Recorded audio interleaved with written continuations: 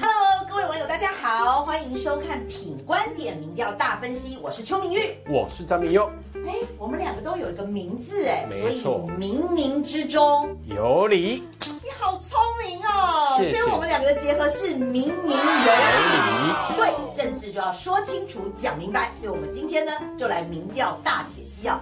根据我们品观点民调呢最新公布的一个数据哈，就是在总统候选人萨卡都的状况之下呢，现在看起来哈，如果依据市话调查了哈，是哎，民友来看一下哈，呃，目前是韩国瑜呢二十九点二，小赢蔡英文的二十九点一哦，那柯文哲是二十一点四呢，暂时落居第三。但是依据网络调查的话呢，哎，我们的蔡总统是二十四点二啊，也是小于韩国瑜的二十三点二，一个百分点而已。那柯文哲呢，则是十九点四呢，还是占据第三了。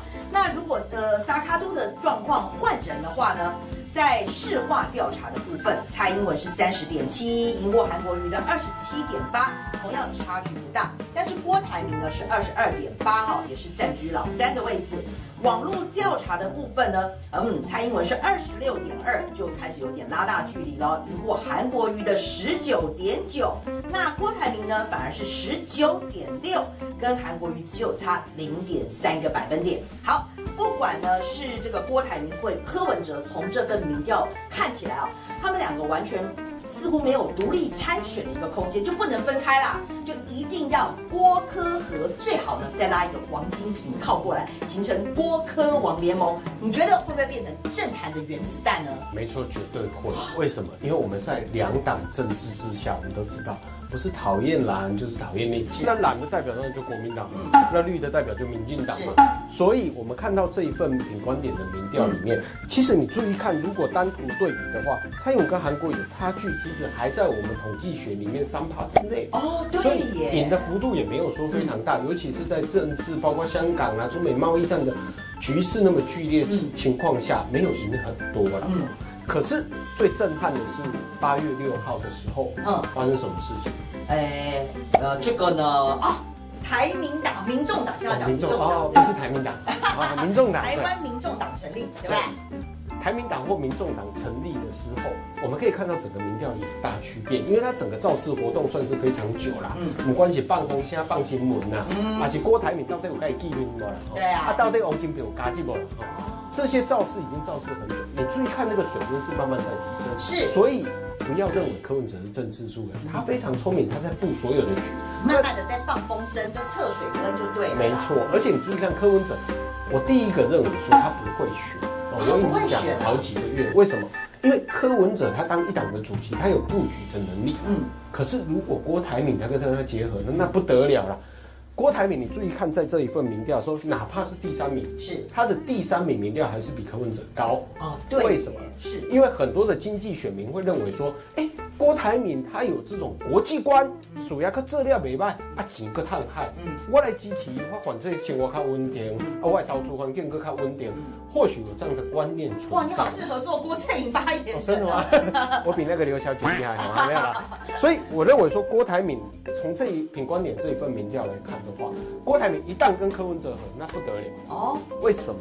因为呢，他们吸取的绿营的所谓的立委选区，因为柯文哲要放区域嘛，嗯立委选区绿营的部分会有危机感，嗯，因为从年龄层来看的话，那如果说蓝营的话，哇，那不得了啦！原本有一些头壳较清澈的呀，这是讲我的经济基础袂歹支持那样的，的人其实你说的就是知识蓝经济。对，一定会跑到这一面，所以郭科和那不得了，哦绝对是震撼弹。但是不要忘了王金平，一旦加入的时候，连陆军都准备好。哇，所以从这个民友的分析就可以看起来啊，这个郭科甚至加王的联盟，在政坛绝对会争升起一个震撼弹。没错好，那我们再来看哦，这个郭科王到底能不能整合呢？还要再看一段时间。可是现在对蔡英文来讲，你不管是对科或者是对这个郭哈，看起来他对跟韩国瑜的这个差距比较不大，甚至有的是追到很近，只剩一个百分点。没错所以这时候副手的人选就非常重要了。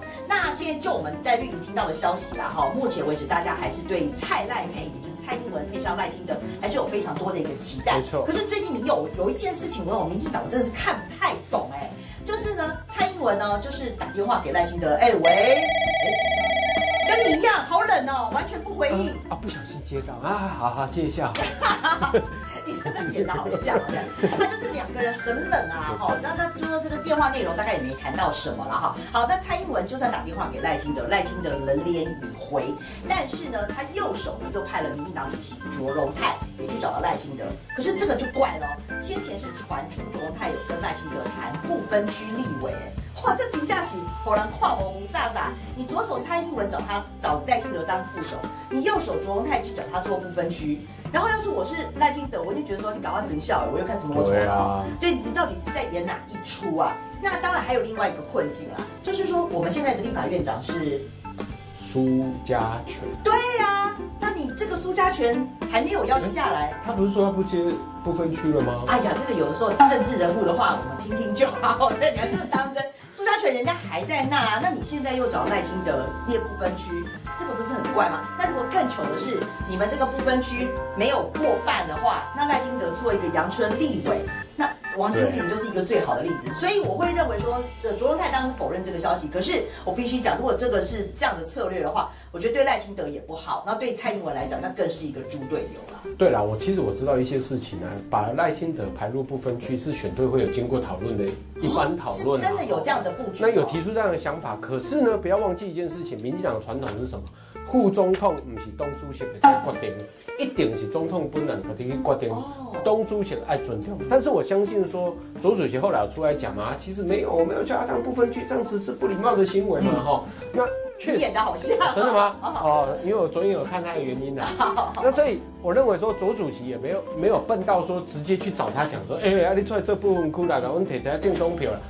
依照赖清德个性，全民进党大概都会知道了。嗯，就算要蔡来演，他一定是通盘考量。第一个，派系结构的问题，嗯还有权力分配的问题。